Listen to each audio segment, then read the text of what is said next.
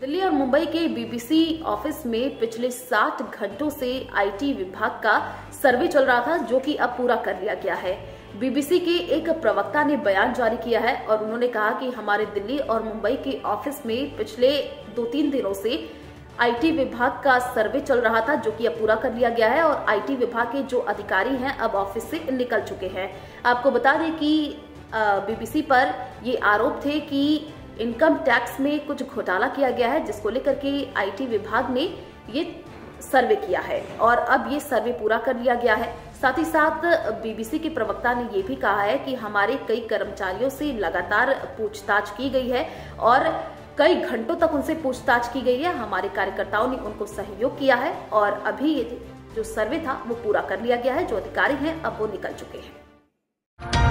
Network ten को like करें follow करें और शेयर करें। जय हिंद।